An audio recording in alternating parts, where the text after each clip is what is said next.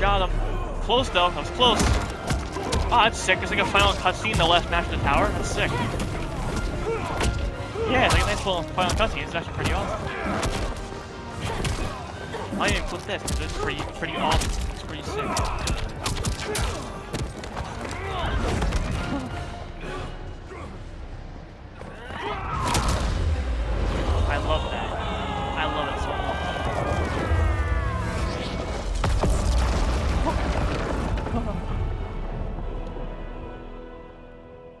Epic.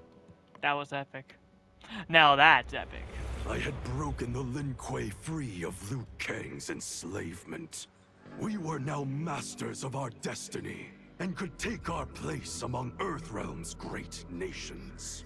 But taking and holding territory would require a vast army. I needed more fighters to make our presence felt. Okay. Then I recalled Shang Tsung's dragon warriors. An army of them would be unstoppable.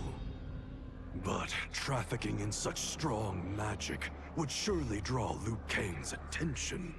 Sektor Yeah, a lot of modes in this game like, put their own little stories. By building our army using science. Besides the main story mode, they have a lot of story, other separate story mode modes in this game.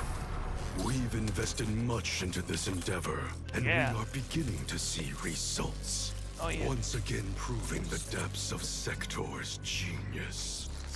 When we are done, all of Earthrealm will honor our desires. Oh, you hear they're they're adding uh they're adding like a tower mode to fight If forever. not, It's gonna be called Beat the Elite. face the Lin Kuei's wrath. But yeah, but it's because now it's not actually the elite. So basically, you're be- being like 10, 10 elite wrestlers like in each tower. Yeah. Wait, credits? What? I guess you beat a tower, you win, you, you beat the game. Devel- developed by NetherRealm Studios. okay. I beat the game, I guess.